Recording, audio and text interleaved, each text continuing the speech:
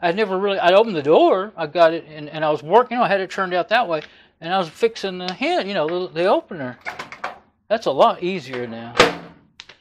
And uh, one time I opened it up, and I happened to be standing over this way, and you know, it was turned that way, and there was a half a hamburger in there, and that's what it. And my mom, my mom was, you know, it broke on her, and she had just got up. She didn't know what she was doing hardly, and uh, she didn't mention it because she she didn't remember it.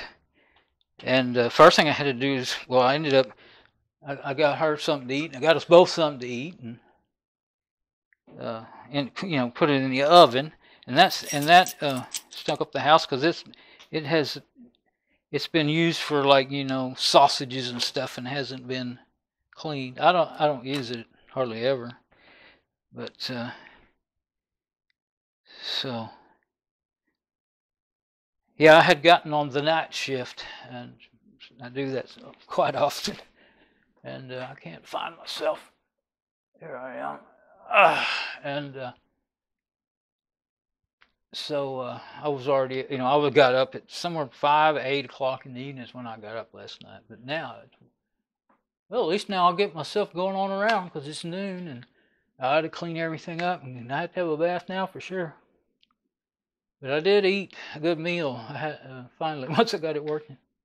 So there was a couple of ideas, you know, if uh, Microwaves, they, that the manufacturers seem to think they're disposable. They they just break.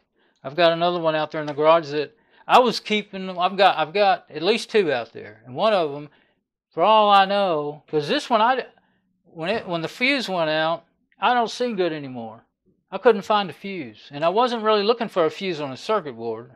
I, I'm I'm just I'm actually learning about last oh, five or ten years you know, you, there's been stuff on the internet telling you how to work on microwaves. I really didn't know enough about them to do much to them, but replace the fuse if I could find it. But I didn't see it.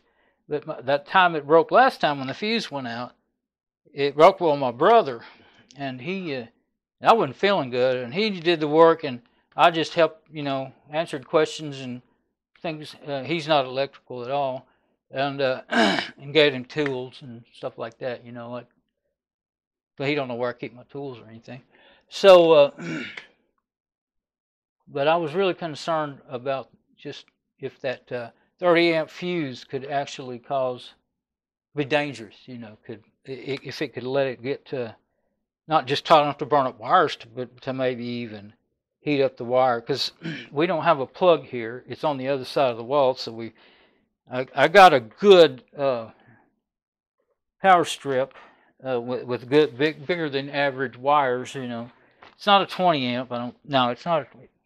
I don't think it's a 20 amp. No, it's not. I couldn't find one that wasn't out like a hundred dollars or something, seventy five dollars. So I got a the good the best. What brand is that? Tripp Lite. I have had really they they're they're lifetime warranty, and I've had real good luck with Tripp Lite power strips.